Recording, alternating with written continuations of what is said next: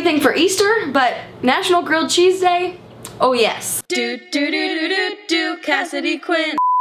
I have so much cheese. And most of this will probably just end up being for snacking. So what else do you do with cheese? And that means there's a reason, ugh, what? First, here's what you're gonna need to make these Stop. Shut up. I'll put this one back in the cheese for now. I mean, what? Back in the fridge. This part is too ugly, so we eat it. That's what you do with ugly things. You eat them. By the way, do you guys like how springy I've made my kitchen? Look at all the flowers. That one's not real.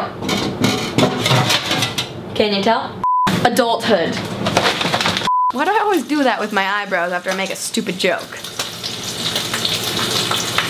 I've got a mind of their own, I swear. What do you do with bacon grease?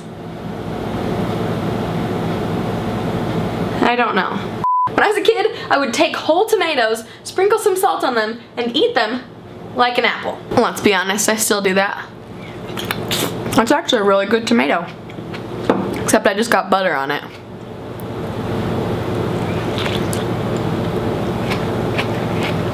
Why not?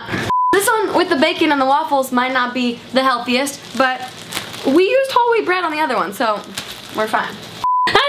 Melting, I'm melting. That's what I wish this cheese would say right now. I got eyes on it. Or in this case, I got cheese on it. Yeah. I'm out of paper towels. I should have been more prepared for this video. I'm gonna wash the butter off of my hands. Having greasy hands just kind of, I don't know. It's not pleasant. It doesn't grease my fancy. Is that even a thing that people say? No. Main problem with cooking. There's just so many dirty dishes involved. First step always, butter it up. Pretty sure some garlic just went flying across the room. Why are you so difficult to cut? Probably because I left you out on the counter way too long before starting this video. Oh god! Oh no! There's water spilling into the stove. Please don't light on fire. Please don't light on fire. I'm sorry, tulips. You were too good to me.